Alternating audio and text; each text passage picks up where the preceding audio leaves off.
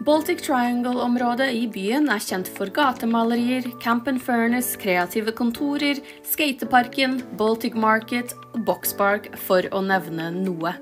Og så er det et par butikker som er verdt å besøke.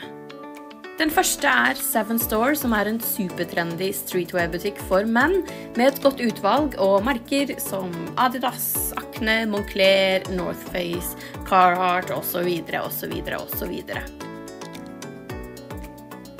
Og så et helt annet sted. Red Brick Market. Et svært marked fullt av forskjellige båser som selger absolutt alt mellom himmel og jord. Her kan man vandre i timevis. Klær, planter, plakater, hundeklær, kameraer, fotballdrakter, utstoppede dyr. Gamle Playboy-magasiner. De har alt. Stikk innom.